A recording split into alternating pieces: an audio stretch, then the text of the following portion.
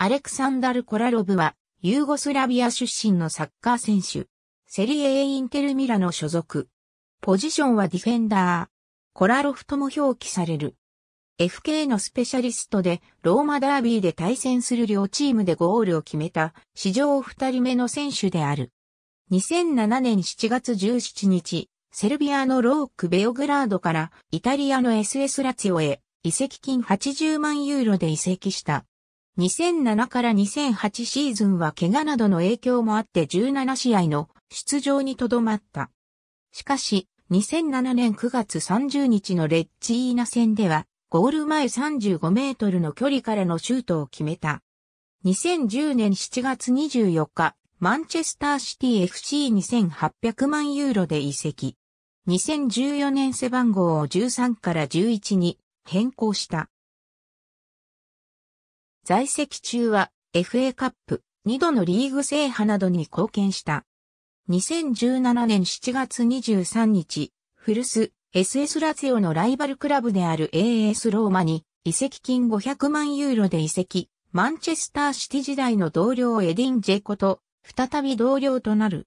2017から18セリエ A 開幕戦のアタランタ戦で直接フリーキックから決勝点となる移籍後初ゴールを挙げた。UEFA チャンピオンズリーググル、プリーグのチェルシー戦ではオーバーラップから相手 DF2 人を抜き去り強烈な一撃でゴールを奪うと、ゼコのゴールもアシストし、決勝トーナメント進出に貢献した。決勝トーナメントでは全試合に出場し、準決勝に進出するも、リバプールに2戦、合計6の7で敗れ、決勝進出を逃した。2018から19シーズンセリエ A 第6節のフロジノーネ戦でシーズン初ゴールを決めると、第7節ラツィオとのローマダービーでは得意の直接フリーキックをゴール正面のペナルティーアーク内からゴール右下へ突き刺し、これが決勝点となった。またこのゴールでローマダービーで対戦する両チームでゴールを決めた史上二人目の選手となった。2020年9月8日、インテルナツィオナーレミラノに完全移籍で加入することが発表された。リーグ開幕戦から3試合は本来のポジションではないセンターバックとして出場するも、怪我や新型コロナウイルスへの感染、またアントニオ・コンテ監督の信頼を得られず、公式戦11試合のみの出場に止まり、チームとしてはリーグ優勝を果たすも、全く良いところなくシーズンを終えたが、シーズンオフにチームと1年間の契約延長をした。セルビア代表としては2007年夏に UEFAU-21 欧州選手権2007へ出場。準決勝のベルギー戦ではフリーキックを決めて勝利に貢献するも決勝のオランダ戦では警告を2度受けて退場。1から4で敗れ準優勝であった。